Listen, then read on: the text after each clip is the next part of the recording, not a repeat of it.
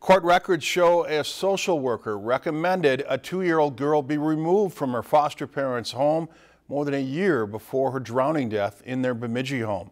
The Star Tribune reports that an intake and assessment coordinator with the Leech Lake Band of Ojibwe filed a report last March in which the social worker list listed concerns about past abuse allegations and poor supervision in the foster home of Nathan Jackson and Amanda White.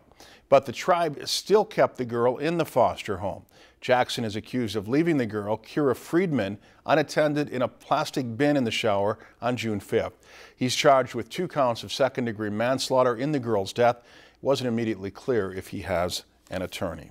If you've enjoyed this segment of Lakeland News, please consider making a tax-deductible contribution to Lakeland Public Television.